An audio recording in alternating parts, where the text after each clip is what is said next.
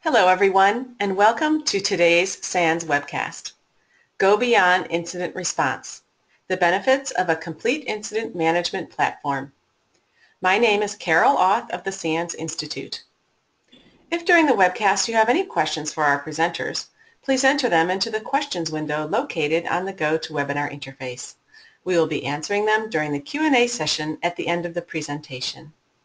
Please note that this webcast is being recorded and a copy of the slides and recording of this webcast will be available for viewing later today and can be found on the SANS registration page. And with that, I'd like to hand the webcast over to Jim. Thanks, Carol. Hello, everybody, and thanks again for joining us. Uh, once again, my name is Jim Pflaging, and I'll be your host today. Um, and today's session is presented by D3 Security, SANS Institute, and my firm, the Chertoff Group. Now, for those of you who don't know the Chertoff Group, our team has deep security experience at the highest levels of government. And from that perspective, like you, we've realized that security, cyber in particular, is fast becoming a top business and national security issue. And today we work closely with CISOs and boards to help them better understand risk and then develop plans to enhance their resiliency to those risks. We also work with innovators and policymakers to help them better understand markets and make decisions. And over the past year, we've heard consistent pressing needs from defenders, those of you in security and IT operations. You've told us things like, hey, we want to get away from whack-a-mole. We want better coordination across the tools that we already have. And we need to better leverage the collective talents across our IT and security teams. And then finally, we need better information to communicate risk to our boards and senior management. And today's session is focused on these issues. So let's begin. The key focused areas for today, uh, there's five, and let's go ahead and get into them. First, to set the stage, we're going to take a look at something that I call the three T's of the digital economy. This lens of the three T's, it's been very effective in getting execs and boards to feel more comfortable engaging in security. Then second, we're going to look at some of the implications of the three T's, namely the need for agile threat and incident response. And as you know, this is hard, especially in light of limited, difficult to find staff. Then third, we're going to discuss current approaches and trends in incident response. Fourth, we're going to dive into some of the key capabilities that distinguish incident management from incident response. And then finally, of course, we're going to have time for audience questions and discussions. And on that note, if you want to ask a question, just submit one through this handy GoToWebinar portal, and we'll do our best to address these to the panelists. So without further ado, let's go ahead and meet each of our presenters. Uh, you've heard enough from me, so guys, if you can each take a minute to introduce yourselves, and let's go with the flow that's on the page. So Bob, let's start with you, pass it to Chris, and then Fraser, you bring it home. Bob? Hi, good, hi, good afternoon. I say Bob Day, a retired Rear Admiral from the United States Coast Guard. Uh, spent five years as a CIO and uh, Cyber Commander. We're building Cyber Command from ground zero. Since then, I've been uh, consulting uh, specifically in the cybersecurity area um, with the Chertoff Group as well as uh, being the uh, executive uh, director of the Virginia, Commonwealth of Virginia Cyber Commission for Governor McAuliffe. Chris, pass it to you.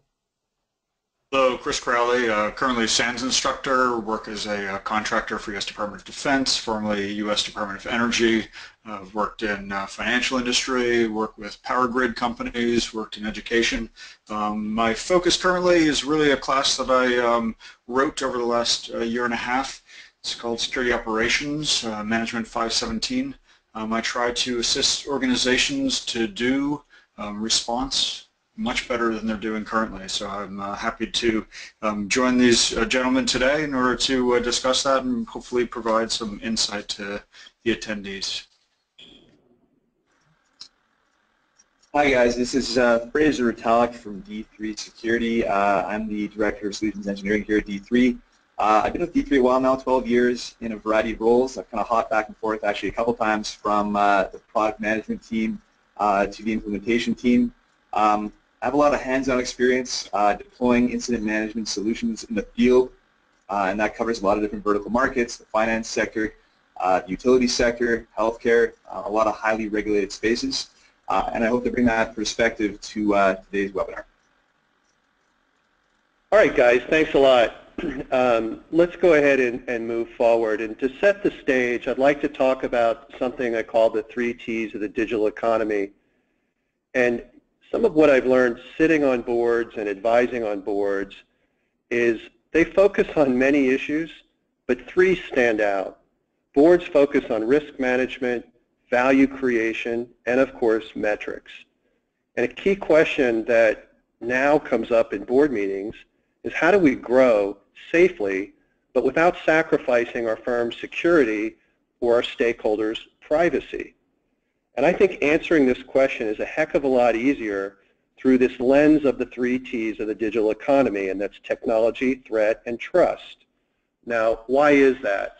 Well, these are three big interrelated ideas that have a profound impact on strategy, on policy, and on public opinion. And thanks to the impact of profound technology disruptions that we're all living through and managing, things like mobility and cloud and social and big data and IoT, every organization can and probably must redefine how they're delivering goods and services, how you're interacting with your customers and partners, and in some cases, heck, do we still have a valid business model?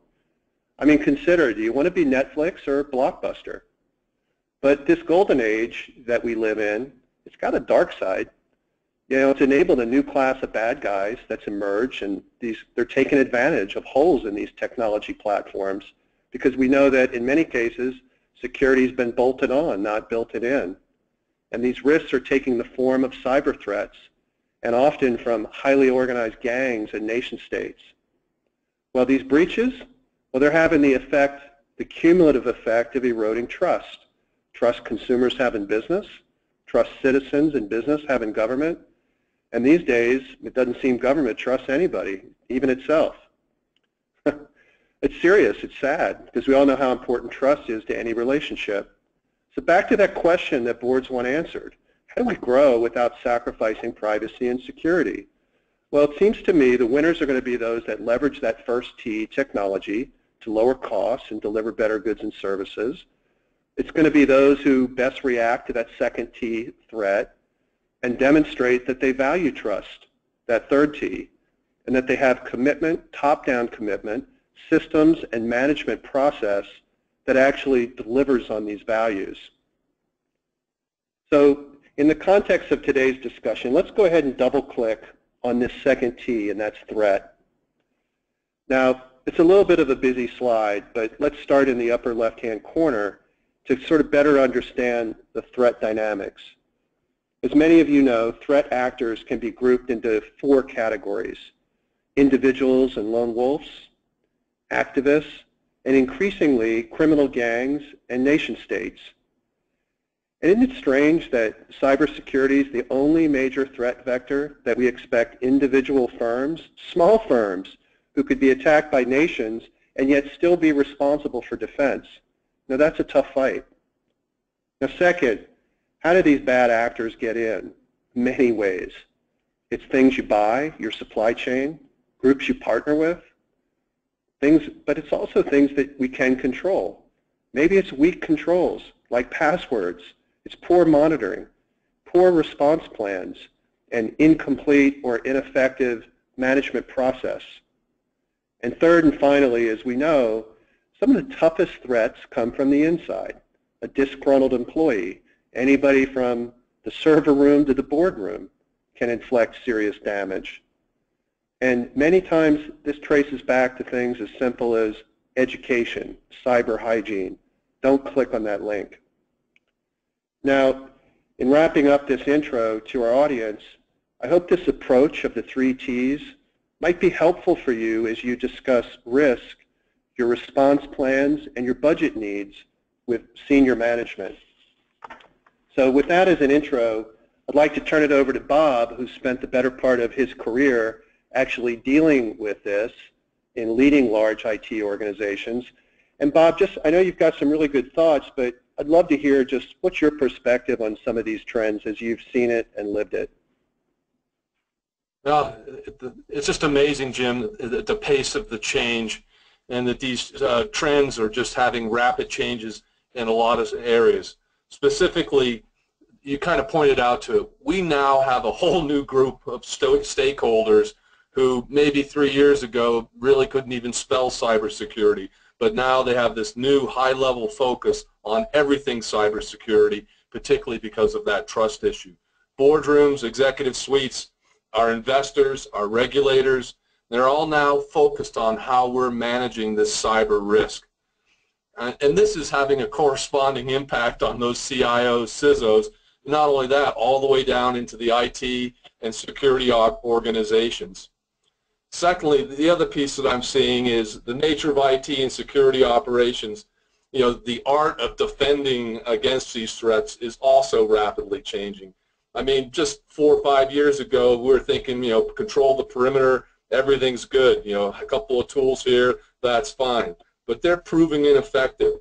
And the nature, the changing nature of these threat vectors are requiring all of us, and particularly the clients that we work with, to really evaluate their overall security posture just throughout uh, the entirety of their IT ecosystem and really start focusing on revamping processes across both their IT and security teams to really get to this one piece that's really become the most important part. How do you get that speed and the effectiveness to be able to respond to the threats, ones that are already in your environment and those that are going to come in here fairly soon. So that's just one significant area that uh, we're just starting to see. Moving on from that, you know, really, uh, if we go to the next slide, a challenge that has come because of this escalation and this new um, level of interest and uh, insight is we're seeing this massive demand for cybersecurity professionals, those people that have deep technical expertise to implement not only the security products that we're having there, but be able to understand our networks and identify, prevent, and respond to those threats. This is probably the most challenging area for many of our organizations and probably for many of our listeners out there. If you just take a quick look at the slide, you can just see the demand that we're going to require. A million person shortfall right now expected to grow up to 1.5 million in 2019. You know, show me an unemployed uh, cybersecurity professional, particularly in the DC area, and as I'm trying to build a new security operations center there, I've interviewed over 50 people just in the last week, and only two are really truly qualified. This demand is just going to continue to grow, and uh, I saw that through the Virginia Cybersecurity Commission, as well as the clients that we deal with. Our education programs, they're just not keeping up with the demand for the cybersecurity professionals. And, and say, not only that, we're not interested in getting these kids uh, particularly at an early age in those STEM majors, to take an interest in um, cybersecurity. And you can see that a Raytheon uh, you know, survey said basically most of them have never considered a career in cybersecurity. So the demand is going off the chart, and yet the supply to be able to deliver trained professionals is just not there. That we're doing everything we can to move it faster, and uh, but it's it's just not going to keep up. And this is what we're hearing. We're hearing that this workforce shortage is their number one problem. And I'm certainly seeing that uh, as I try and build a, a cyber operations center. Hey, Bob. yeah, go ahead. Um, other than the fact that I bet you're going to get a few applicants after today, um, so what are the options? I mean, what are the options that you're facing right now and just organizations in general? I mean, what are the options to solve this gap and the associated costs? So the options that you're seeing right now are people are going out and hiring consulting firms and those capabilities, and because of demand, they're paying top dollar for it. The other piece is, the other way to solve the problem is you've alluded to already is that the technology side of this equation is changing. More and more people are going to cloud. Some of the legacy IT functions that were in those organizations running server farms and those types of things we need to look at taking and leveraging them, training them internally, and moving them into a security-focused environment where they have an understanding of both, but also now starting to take and leverage their capabilities versus starting ground zero and getting them into a more security-focused type of performance. And I'll talk about that a little bit more. Um, but really, the problem is, is we got a cost piece, um, and you're trying to buy it and consulting and bring that in, uh, and particularly just the cost for remediation when you're calling a team in after an incident has happened, you know, is say open your wallet and it's going to it's going to cost you to bring those types of teams in. So that's really uh, an area that uh, people are starting to look at is how do you revamp your IT operations and uh, work with that. Hey, So- Bob. Yeah, go Uh, ahead. Before you jump into convergence, we have a, a question from the audience, and thank you, Spencer, for this. And the question was, well, why the heck don't we get current IT people interested in IT in security, do cross-training? What can you offer on that, Bob? Well, that's a perfect lead-in um, to uh, my next topic of conversation. And we've done surveys from the Chertoff Group, and I'm certainly seeing this in the organizations that I'm going into, and that's exactly what is happening. We're starting to see a convergence of the IT and security operations, um, you know, that is occurring because of not only the demand um, for the security professionals, but the fact lack that we have them and the cost related to that. So traditionally, your organizations, you know, the, uh, particularly the IT and the security teams, they've kind of operated in separate track. You know, one was to oversee and take that security information, throw some stuff back over the fence to the IT um, operations teams, patch this, get this done. But what we're seeing is now they're moving away from this stovepipe type of approach and kind of merging together and having this convergence where the IT personnel, particularly as we start transitioning into the newer technologies where they're not being what we used to call server huggers, now moving them up the chain, exposing them, so in many cases, as you say, on-the-job training, um, along with some of, you know, curriculums out there that you can get um, through th institutes like SANS or even some local community colleges with certification programs, is starting to have this collaborative approach. And it's not only good to help, uh, you know, really stop this gap of personnel that we have, but we're finding that for a highly effective organization um, to be able to thwart the threats that we're facing, that we need a collaborative and coordinated approach, not only just for day-to-day operations, but specifically when we look at incident response. If you're not being able to do that converged approach, um, you're really going to lose some effectiveness. The first is, as I say, the converged approach takes and helps the shortage of cybersecurity professionals and to be able to take and move these guys up the left. And as you can see from the quote on the top left there, IT operations are becoming increasingly responsible for managing the security tools that not only harden the infrastructure, but provide the security team with the insight into the overall really security status of the environment. More importantly, to provide those indicators of malicious activity where those deep security analysts and those deep security professionals are able to take that information and move it forward. The other part is, is the sheer volume of the security event information that's being processed by today's organizations really requires those, you know, this new converged organization to finally, you know, tune those security tools because they're just being overwhelmed um, with the amount of security events that are coming out there to be able to really generate meaningful information. And that requires participation by everybody. It also requires the ability to rapidly identify, determine the root cause of, and eliminate these recurring security incidents that we see that are causing part of that noise and really distract the security personnel from identifying more urgent threats.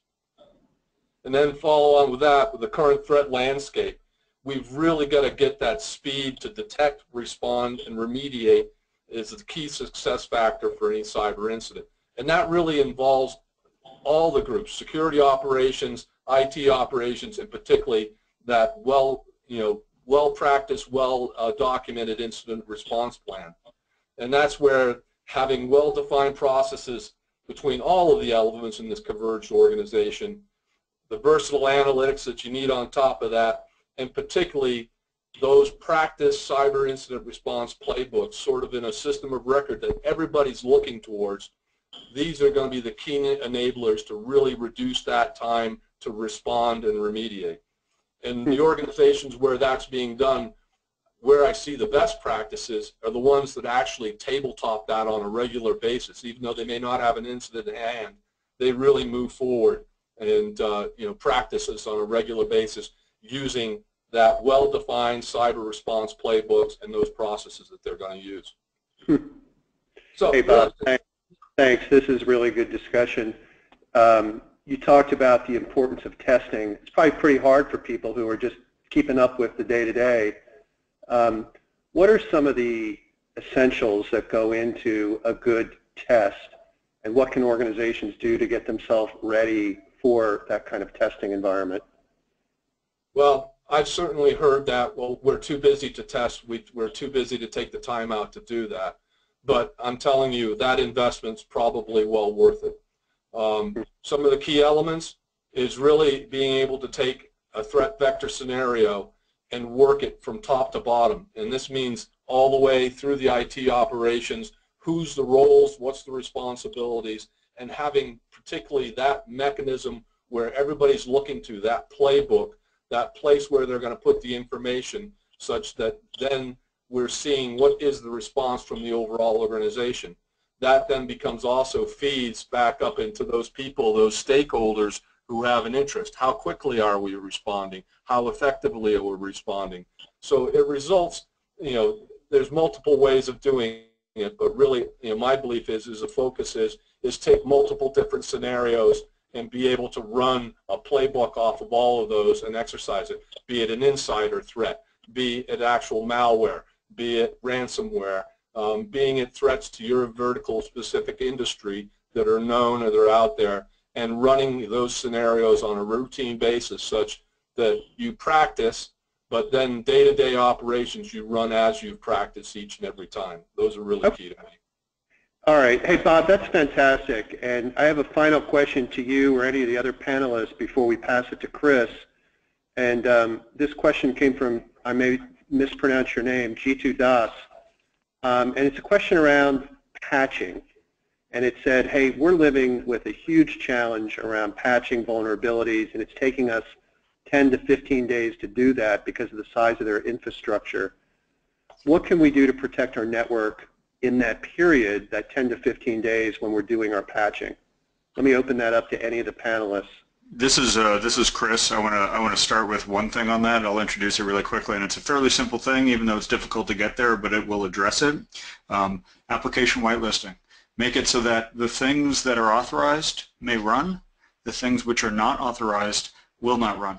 Now, that's not going to save you in all cases, but what you're going to get is some added protect, protection in terms of preventing the adversary from being able to move forward in their objectives. And then what you're going to do is a very high value detect of the fact that some computer was trying to run something that was unauthorized. Again, it's not going to stop them from accomplishing their ultimate objective unless you intervene, but it puts you in a fabulous position to know that you need to intervene and then initiate that response action. And this is Bob. And say first, my first response is is I congratulate you for patching. And even though you're having um, you know those downtime periods up to 15 days, maybe uh, even further, the fact that you have a you know a standardized patch plan and are actually doing that, you are taking care of one of the basic fundamental of the ecosystem and probably the best bang for your buck initially um, to be able to prevent from some many of these things. So many of the organizations that we're going into their patch cycles are much, much longer. Um, and as I say, it is a heavy lift, but it is one of the core elements um, in the overall uh, defense of your entire ecosystem. You know, whatever we can do to be able to speed that up. Um, but then again, we're at the whim of many of the vendors in terms of when they throw their patches at us. Um, but the fact that you're doing it, um, you are practicing one of the best efforts. I understand. It's frustrating and it does leave holes at times. Thanks, guys. For the sake of time here, let's go ahead and, uh, Chris, move to you. Bob, I've got a couple more questions for you, but maybe we'll save those to the end. Uh, but we do have a, a, good list of questions coming in from our audience. So, Chris, over to you. Yeah, what I want to talk about a little bit is here sort of my vision of what it is to perform security operations. Um, there are a number of different functions that I want to address, discuss each of them briefly. Um, I can elaborate on these at length, but I just want to make sure that everybody understands what it means to actually perform security operations. Um, large organizations are going to have um, discrete um, entities which actually perform these separate functions. Smaller and medium-sized organizations are probably going to have people wearing various hats in order to do these things, but nonetheless you need to do all of these things. The first one is the notion of a command center. This is the idea of having a place that can be called, it's kind of like a 911, um, you know, I need help coming from the organization. Who are we going to call? And then that command center maintains situational awareness of the information systems for the organization and is able to uh, direct responsive action. It's also able to direct action in order to investigate the situation, see what's going on, make a determination if there is a problem. And that is done in conjunction with the network security monitoring team. This network security monitoring team maintains awareness of the information systems for the organization and their primary objective is the rapid and accurate detection of issues within the organization. Our ability to detect issues is terrible as a worldwide defensive posture of organizations. There's data out there that shows that we don't detect it ourselves. We are told by third-party entities after there's a problem. That's not okay. You can't hope to intervene and interrupt an adversary from affecting your organization if you don't know that there's a problem going on. And that's what we need network security monitoring to do. Additionally, we want threat intelligence. And this is taking information either from the outside that people have collected and then given to us or that we actually are developing inside of our organization in order to understand how it is that our adversaries are threatening us. If we do not understand those threats, we will not be able to cost effectively deploy defenses in order to be able to manage the issues that we are encountering today. If you're not aware of the threat, you are going to waste your effort. You're going to waste your scarce resources in attempting to deploy defenses. The next notion here in terms of a functional capability is that of incident response. Incident response is necessary. We need to be able to mobilize resources to engage adversary action in order to be able to thwart that action. This incident response additionally needs to understand what it is that it, it is attempting to defend. If I send somebody out to a place to try to work with those information systems and they don't understand that those information systems can't be shut down because it'll cause damage to some sort of physical entity under the control of that information system, that's a real problem for us. That would cause more damage in the attempts to help, and we just simply don't want that. We can't have that. As Bob was mentioning, we need to have practice. I think that incident response needs to be drilling all the time and utilizing the information coming from network security monitoring and from our threat intelligence in order to direct what things are most likely to occur and also practice some edge case scenarios so that if something like that happens, they aren't seeing it for the first time under uh, live fire, if you, if you will. The idea of forensics is a, a capability which supports the responsive action, which gives us granular and detailed information about the circumstances of what we're seeing. We need to have first responders with the capability of saying, hey, I see this, but I need somebody else to answer some really detailed questions for me.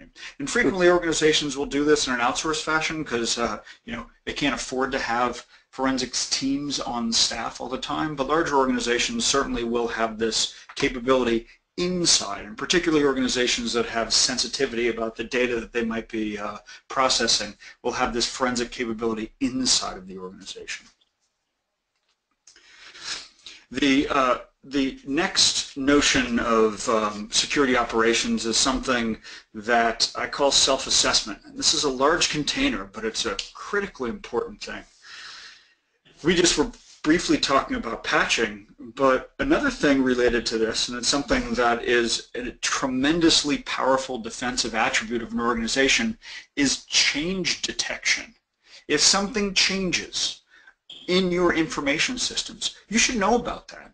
And you should be able to authorize change before it's deployed and then monitor for unauthorized changes as well as detecting when there is a change in an information system because that is typical within adversary behavior.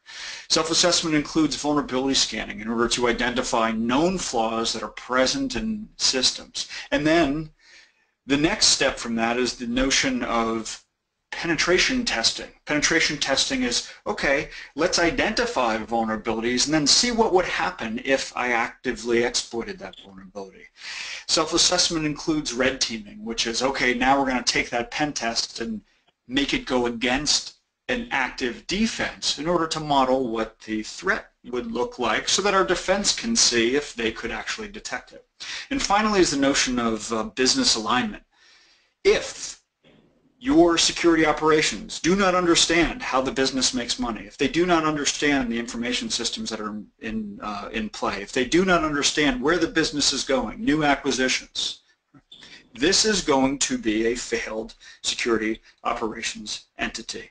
And what we want to have is a bidirectional communication between security operations and the business in order to understand what's coming up in the future as well as to understand what failures have we had and how might we need to adjust how we do things in order to be able to move forward with our security posture. Chris, so let me give you one quick example. And this is a uh, this is something that is out there, and I'm talking about Dridex as exemplary for a large number of uh, crimeware families that are attacking organizations. And the typical scenario here is Dridex with a phishing email getting in, dropping um, a word macro via a real seeming um, attachment that will do things like um, actively evade sandbox and anti um, anti reverse engineering techniques. Things like let me check to see if there were a certain number of, of Word documents in the recent in the recent files, and if there aren't, I'm not going to do anything. The uh, the Dridex then participates in a command and control channel, steals credentials, and then attempts to conduct financial theft. And Dridex, what it was doing was actually, because the crypto locking ransomware was so effective, they started dropping a crypto locking ransomware as well. So the question becomes, if this is common in the environment, can you respond to this? We know this is happening. Right? So let me just mention a few things that you should be able to do in the face of this. Because this is how attackers are making money today. First of all, I want you to think about the fact that all of your preventive controls will at some point be bypassed. Plan for it. It's a fact. You can detect the initial phishing.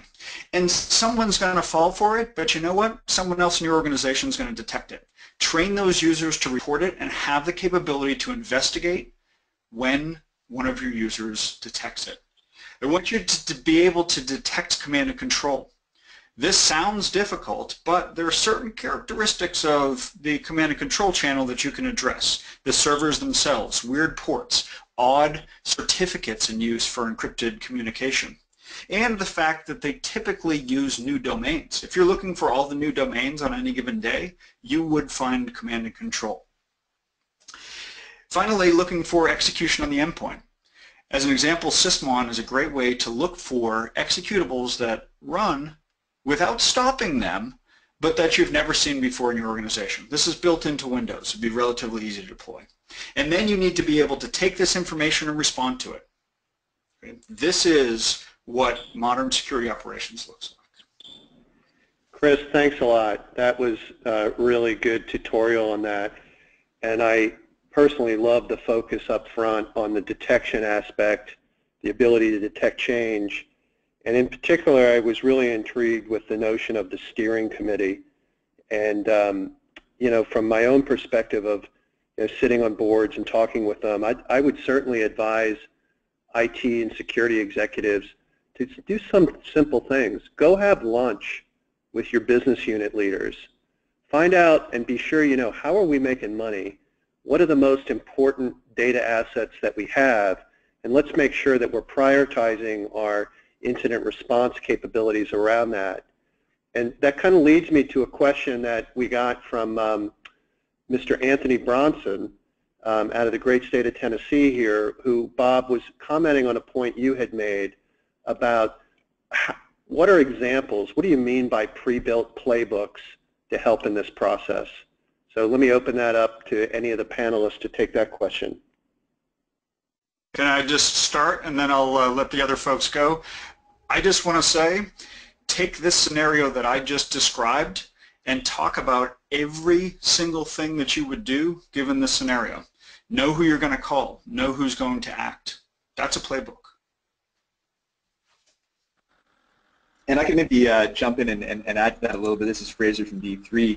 Um, you know, a, a, playbook entails several steps. There's a lot of different frameworks out there that, that kind of uh, sum up how organizations are, are, you know, supposed to respond to incidents and the best steps to take from, um, you know, the initial assessment, triage, you know, determining whether or not you have a false positive on your hands, and, and then if an incident is legitimized, you know, the various steps that you take. Um, as Chris said, who needs to be notified, um, you know, which, which logs you need to review, you need to close a port. You need to take uh, you know a, a, host temporarily off your network. Um, all those detailed steps uh, need to be mapped out ahead of time. You need to think ahead of time and prepare for these incidents so that when one of these comes up, you can execute effectively. Now, as the solutions provider, you know, we definitely play a, a role in, in enabling and empowering uh, the execution of these incident response plans. Um, and that might start by having the, the you know, folks in the command and control center um, sorry, pardon me, the, uh, the, the incident command center have, uh, have oversight and, and the ability to delegate tasks out to the various team members, um, you know, whether that be uh, the folks in IT support um, or, um, you know, their, their forensics investigators after the incident has concluded. They, they, they basically, we can provide them with, with tools that facilitate that whole process, and part of that is working in a, in a framework where not all of your incident responders, not all of your analysts uh, are veterans. Not all these folks have been doing this for, for 10, 5, or even necessarily one year. Um, you know, if you have an incident that gets detected um, and, you know, it's, it's uh, 2 a.m. On a, on a Saturday, um, it, it's very possible that someone who may have moved over from the IT team and, and, doesn't have that, that wealth of knowledge, that depth of experience, might be the point person um, on doing the triage for this particular event.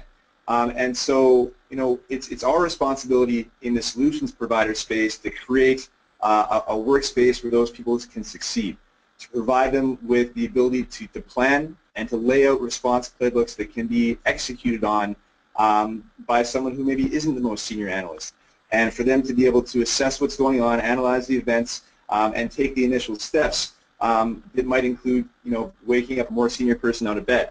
Um, but when when we talk about playbooks, it's it's really kind of laying out a, a manageable process um, that may involve some automation and just bringing together those different teams that uh, you know Chris had, had laid out on his other slides there to collaborate and facilitate an effective um, organization-wide response. And if that means escalating things up to you know a, a, managerial level, then then we need to make sure that, that those steps are involved as well. Yeah, Fraser, and this is Bob, and as I say, I can I can hear the groans and the sighs out there in the organization. It's like, well, that's really really hard to do. Well, yeah, it is, but guess what? There are best practices out there that are well documented. There are playbooks that are, you know, particularly being laid out there by regulatory authorities if you're happily to be in one of those um, heavily regulated industries of where reporting needs to go, what needs to be reported, those types of things. And having those predefined and bringing it into a potentially a less mature organization, they automatically get to take the best of breeds out there and be able to map off of those. And those are, you know, so it's not, you don't have to invent all of it in most cases. You can take best practices, whether it's coming out of uh, national standards or specific industry ones where industry, other industry personnel have already developed them through either one of the ISACs or one of the other information sharing bodies out there. So I, you know, I hear the, the groan. It's that's really hard to do. Yes, it is, but in many cases, some of that's already available to you through providers like D3. Hey guys, one last question before we turn to Fraser, and uh, this is from a place that I'd like to be right now, sunny Australia and Maximilian Jeffries. And the question is a good one here, is how do you develop these playbooks if you're an incident response team that's external to the business, a third-party service provider, and in this case, lots of unique bespoke systems, so it's not something you can just sort of buy off the shelf. This is uh, this is Chris. I can start, and then um, I'll, I'll be brief. Um, if you're brought in as a uh, third party in order to be able to do incident response, I would think that part of the thing that you're doing with them is drilling on these bespoke systems. If I were to run incident response, and actually I, I managed an incident response team for a number of years um, in a large nationwide government network with um, tens of thousands of endpoints that we controlled and at least 100,000 other endpoints that we didn't. And we had scenarios around all the things that we knew that we had to deal with and we had specific techniques for dealing with things that were connected to our network that we had never seen before. So you have to do your best guess, but also this is particularly important for you to drive it home, the importance of it with your customer. We need your help to help you. Fraser, let's pass the ball over to you. I'm anxious to hear your section, and in particular, I'd like, I'd personally like to know what the heck's the difference between incident response and incident management? Yeah, thanks, Jim. I think uh, maybe I'll just tackle that here uh, right off the bat. So, you know, incident response um, in, in, in our vernacular, at least, is uh, is basically the concept of, of you have a detected event and, and you know, you're going to respond to that in a, in a reactive way, and that response is critical. You want to limit the damage that gets done. You want to limit the, the access that these, these bad actors have to your network. Um, but at, at least over here at D3, we're, we're strong advocates for um, kind of a more cyclical approach. And, and what I mean by that is um, rather than you know being reactive, and uh, we're going to get to you know a, pretty strong analogy to that in a second. Um, you, you want to be proactive. You want to plan and, and you want to analyze your, your uh, incident response activities and the incidents that you're really seeing um, coming in through your SIEM. Um, you know, how successful are phishing attacks being, you know, do your staff know not to click on these links, stuff like that. You, you want to analyze your, your incident data um, and, and really cycle that back into your, your planning phase and allocate your scarce budget and, and resources most effectively to reduce your incident volume to prevent some of these incidents that are reoccurring on a regular basis from happening. Um, to tune your SIEM rules better so you get less false positives. There's all kinds of different ways that we can um, you know, take a more holistic approach to incident management as opposed to being reactive, and that's something that, that you know, we wanted to focus on uh, with you guys here today. Um, just to segue into my, my slides here, I think that uh, you know what we have on screen is is kind of representation of some of the different teams and tools that we have at our disposal. Um, you know, we all know from what our, our present uh, presenters have said here already that you know we are going to have bad actors that, that do manage to penetrate our defenses. Um, you know, people are going to click on links they should. Uh, one way or another, you know, malicious code might find um, our way on its way onto our network. Um, and uh, what we really see as, as, a, as a critical element to taking the best stance to, to, to combat and counteract these uh, bad actors um, is a need for coordination. And uh, you know, we see, unfortunately, a, lack of coordination sometimes between these teams, and, and it's not just within the cybersecurity team. It's also, you know, coordination with other departments, uh, like your traditional IT support team, um, like sometimes your legal team, your compliance department. And so, my slides are going to focus really on how to achieve this type of coordination um, and you know what we see out there in the marketplace right now is a lot of organizations still using very kind of rudimentary tools, stuff like email and Excel and, and, and file shares as their primary um, tools for, for achieving this kind of interdepartmental, inter-team coordination. And we think there's a better way to do things, uh, which is what I'm going to talk about today. Um, so the next slide uh, I want to, to talk to you guys about here. Um, this is the analogy we kind of take to, to represent uh, incident management versus incident response. And, and, you know, everyone's probably familiar with the game Whack-A-Mole. Um, you know, as a defender of your backyard lawn, you watch for moles to pop out of the ground, and, and you try and fight back by whacking them back into their holes. And you know, it's a brave fight, but uh, you never seem to get ahead of the problem. And eventually, you know, your arm gets tired or your concentration slips, and one of these little guys is, is going to get away, get away. And if you stop for a moment to analyze your mistake, then, uh, well, a whole bunch more of these guys are going to get past you. So you know, I, I, imagine the analogy for you know our, day-to-day cybersecurity operations is coming through pretty loud and clear here. Um, you can you know react and, and and respond effectively to a lot of these moles, so to speak, um, by being reactive. Um, but you'll never get to all of them unless you can somehow um, you know predict their behavior and, and try and get ahead of the problem a little bit.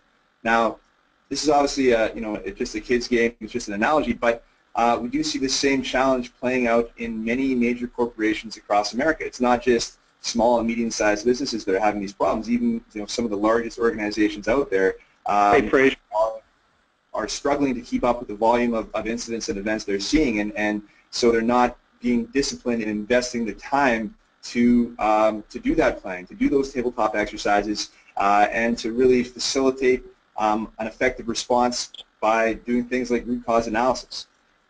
Um, hey, Fraser. Yes. I, I love the analogy, and this. I know when we were doing our prep, Bob, you had a couple of colorful stories in this, kind of real life examples. Do You can. Is there any one of those you can share for the audience today? Well, sure. I mean, I, I, if I go back to you know one of the significant ones in my CIO role is the uh, 2014 Heartbleed, and uh, you know we just did not have a systematic way of going about identifying where this vulnerability existed. It seemed like one place where we knocked it out, we overlooked four other. There was just not a systematic way to be able to take my entire IT operations and my uh, security forces and bring them together and have them focus on one area such that we were clearly covering the entire IT infrastructure looking for this very serious um, threat vector. And, I mean, we managed it on an Excel spreadsheet, and it was just ineffective. Thanks, Bob. Fraser, back over to you. Yeah, and if we go to the next slide, please. Uh, so, you know, several years ago, we, we were taking a look at the, uh, the, the kind of current state of cybersecurity operations, and, uh, you know, we, we noticed what we thought were some significant gaps um, that weren't really effectively being addressed by organizations. Um, you know, despite all the, the great tools that are out there for, for detection and, um, and, and control of our network, um, a lot of this, these, these items you see on screen here weren't really being addressed uh, effectively by most organizations. Um, and some of these things are, you know, completely unique to the cybersecurity field. Um, you know, things like false positive metrics and incident response playbooks or, or you know, automatic correlation of threat intelligence. Um, this is pretty core stuff to cybersecurity teams, but there's also other elements to the operation that um, are, are, really shared across multiple different departments, stuff like trend analysis, you know, giving visibility to those decision makers into what's happening um, at a cybersecurity operational level.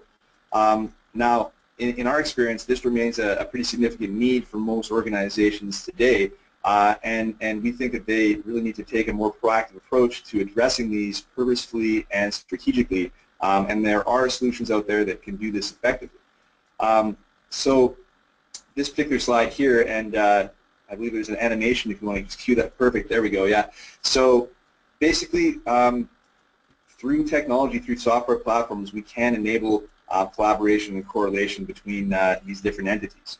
Um, and you know, the concept of incident management, uh, it really touches all different elements of the cybersecurity team, from threat hunters to the incident responders to those who operate the SIEM, and, and uh, it also crosses those departmental boundaries you know, involving uh, IT support, as we said before, legal compliance, risk, etc. Um, all these people and all these tools need to be coordinated and collaborative in order to execute effective incident management. Um, and it's important to you know, have kind of a, an information backbone and, and, and tools that allow you to, to delegate tasks, to assign uh, responsibility, to notify people under the appropriate circumstances, and to really model and plan for an effective response playbook, um, which is so critical to, to you know, minimizing the damage uh, when an incident takes place. So basically, what we're saying here is that if, if your organization is, is using spreadsheets and email and file share for this purpose, um, you're falling short of the mark. And, and organizations need to, to, to give this another look and, and be more proactive in their, in their systematic approach. So I think the next slide uh, is going to cover um, basically an example. It's a case study, and this is a project that, that I, I was personally involved with uh, back in 2016. Um, this is a Fortune 500 or Fortune 100 banking company, by the way. Um, and, and basically this slide, we just wanted to give you guys kind of a feel without actually identifying who these guys were. Um, they're a pretty big player, and, and, and they're an international bank, um, and they have a fairly sizable cybersecurity team that's siloed up into different roles. Um, they've invested heavily in, into staff as much as they can hire qualified people, and they have some pretty nice tools in their tech stack as well. Um, but what you'll notice uh, on this particular slide is that uh, among those tools, you know, they, they aren't really using a, a sophisticated tool for incident management. Um, you know, they're still using email, they're still using file share and spreadsheets, and these are tools which, which fail to really provide the, the adequate structure, the standardization, the metrics reporting, the ability to, to notify, delegate tasks, um, and do all the critical elements of, of executing an actual incident response. Um, you know, spreadsheets, uh, incident responders and, and cybersecurity professionals are very intelligent people and they, they, they like tools like spreadsheets that are open-ended, but uh, at the end of the day, um, they're just not structured enough and don't have that, that intelligence and those automated processes built in that can really help uh, organizations get to the next level. Hmm.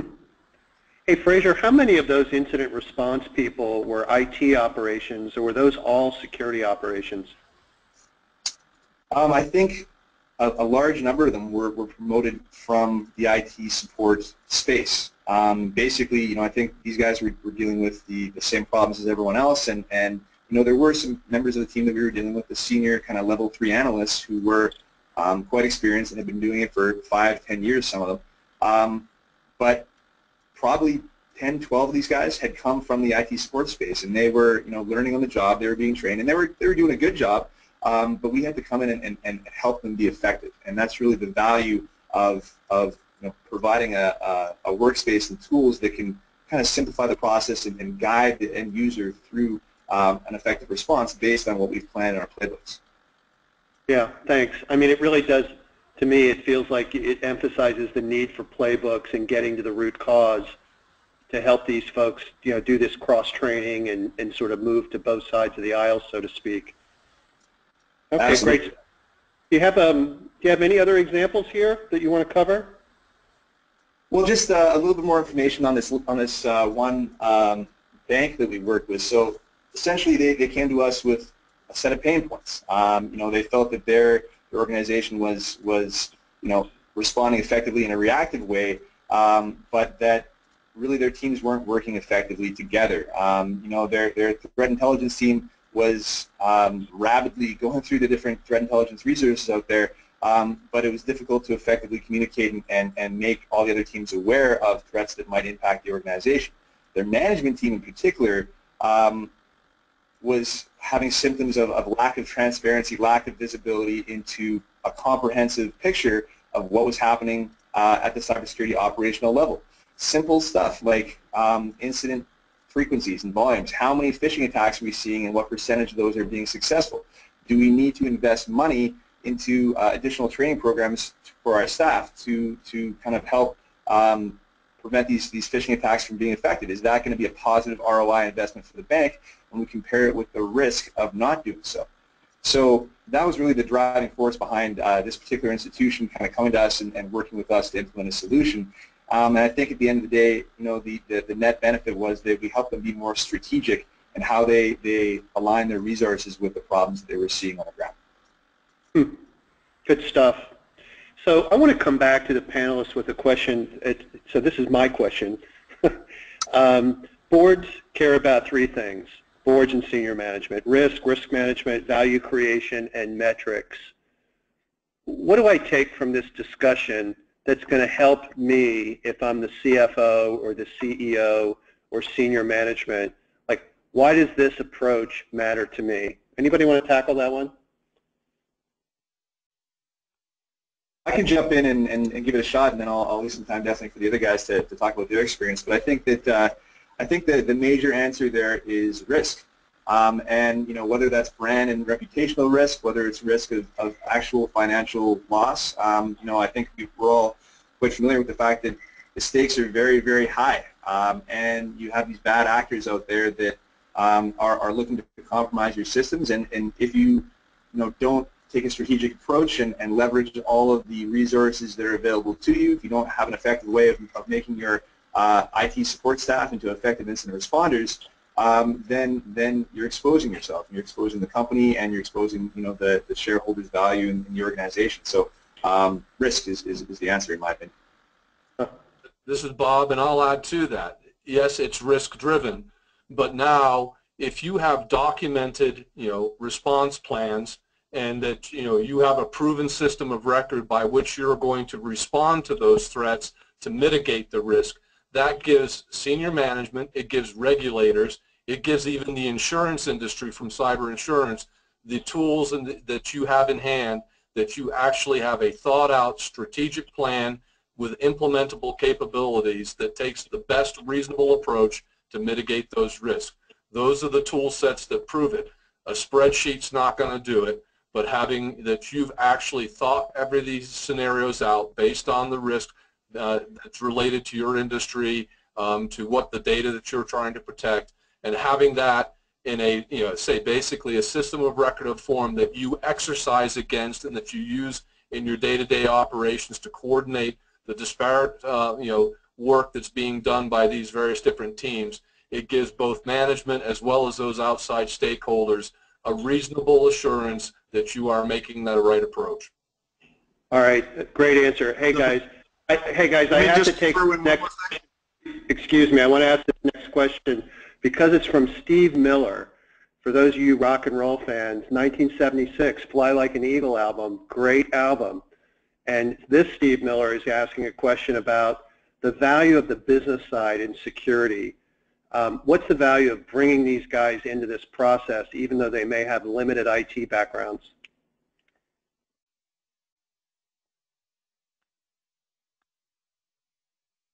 Well, this is oh, I get a chance to answer that one, so um, I'll, I'll, go ahead and take this one real quick, and then hopefully I'll give, give leave enough time for Bob. Um, the only reason why security operations, incident response, any of this actually exists is to help to protect the business. If you don't understand that, you can't help the business. right? You're not providing a return, you're providing loss prevention. Make sure that you're providing the right form of loss prevention, the most effective thing that you can. Totally agree with that. And then it's also managing expectations. You know, what are the, you know, the balancing act between securing those things versus the potential impact on business. When they become an active stakeholder and feel that they're involved in the decision-making process versus a security organization just saying, we're going to lock this down versus a balanced, you know, response capability and assuming and both understand the risks that are being assumed if you open up certain capabilities. That is a much better place that now you have an advocate in the business um, group and that you're jointly explaining to the board of directors, to those overseers, that you're saying we have jointly made this decision and presenting it as a team um, is a much stronger position to be in than versus the CISO or the CIO being the one saying, I made this decision alone. Okay, great points, guys. So I want to, we're, we're right up against the end. We're going to have one last question for you guys, and I need responses in 30 seconds or less. But Heather Berlin had asked a question, will these slides be available offline? You betcha, Heather. And then in addition, we have a really cool white paper, if we can go to the next page on that, just to show that, Paul, that I would encourage everybody to go to the instructions that they give you to take a look. So the last question, quick, 30 seconds max. What type of metrics should you include in reports to management? I want to start, Bob, with you, then to Fraser, and finish with Chris. Let's go. First of all, I would say, you know, what is the speed of effectiveness in terms of incident response? Uh, metrics for uh, success versus uh, failure of attacks, false positives, and, and general uh, incident frequency and volume. Okay, I have a couple. Time to detection, number one. Um, number two, the cost of an incident. And number three, the preventability of any given incident. And I like this preventability in three tiers. it was, we have the technology, we could have prevented it, we have the technology, but our business processes or systems make it hard to prevent it. And finally, this was zero day, some other thing that, you know, we really don't have the technology to actually have stopped. Thanks, folks. Um, hey, Leslie Lambert, I know you. Thanks for the question about um, the white paper link, and yeah, we're going to make that available. And I give you my own spin on what side of metrics to report to management, and I can't emphasize enough. Know what are your most strategic assets, your most critical business process, and know how your firm makes money. And that's what senior management is going to care about they're not, sometimes they're going to get lost in all these mumbo-jumbo technology terms, but tie it into things they care about, risk, value creation. So listen, panelists, you guys were rock stars, and we even had a rock star, Steve Miller, ask a question, which I think is awesome. Um, but I really appreciate your time. Everybody out there who's asking questions, awesome questions, thank you. And let me uh, pass the ball back to Carol from the SANS Institute who is going to close this thing out. All right. Well, thank you so much, Jim, Chris, Bob, and Fraser for your great presentation, and to D3 Security and the Chertoff Group for sponsoring this webcast, which helps bring this content to the SANS community. To our audience, we greatly appreciate you listening in. For a schedule of all upcoming and archived SANS webcasts, including this one, you can visit sans.org forward slash webcasts. Until next time, take care, and we hope to have you back again for the next SANS webcast.